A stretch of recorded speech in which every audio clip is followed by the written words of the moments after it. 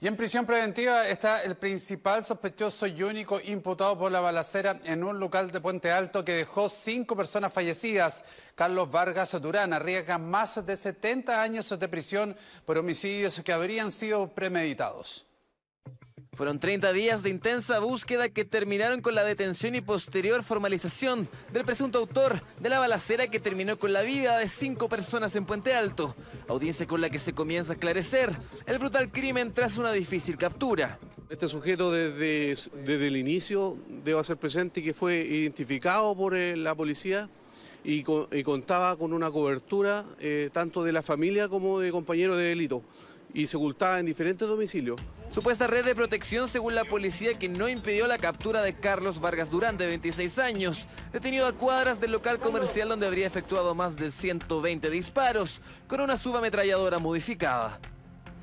11 de la mañana y el único detenido por este caso aparecía con sonrisa nerviosa en el Tribunal de Garantía de Puente Alto.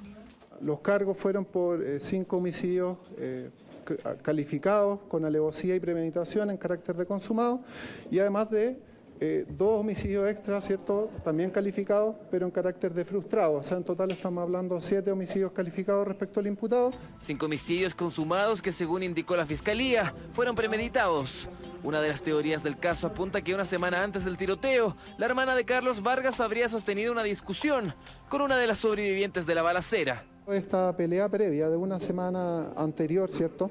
Eh, hay un momento en que la propia víctima indica que eh, después de esto, ¿cierto? Iba a vérselas con eh, su hermano, refiriéndose a Carlos Vargas Durán, y con su pareja, refiriéndose al Rorro. Él reconoce ser parte de una familia que tiene problemas con otra familia y que él niega haber disparado, haber acompañado, haber estado en el lugar del tiroteo y que, sí, y que eso es lo que hay que esclarecer en este, en este caso precisamente. Vargas quedó en prisión preventiva por los 120 días de plazo determinados para la investigación. Según su defensa, los testimonios presentados no son suficientes para acreditar su participación. Lo que exige esta defensa para poder que se encarcele una persona con la medida más gravosa que contempla nuestro sistema penal es precisamente algún antecedente de tipo objetivo a este respecto. Las diligencias ahora se concentran en atrapar a quien sería el cómplice de Vargas, Rodrigo Castro, alias El Rorro que no vamos a descansar ni un segundo para poner a todos quienes pueden haber participado de estos hechos ante la justicia y también señalar que esperamos que eh, el tribunal eh, y los tribunales entreguen las más altas penas porque este caso es excepcional y debe tratarse de esa misma manera. Este nivel de violencia, como chilenos, no lo podemos tolerar. Los siete delitos imputados a Carlos Vargas Durán sumarían una pena total que partiría en los 70 años de cárcel.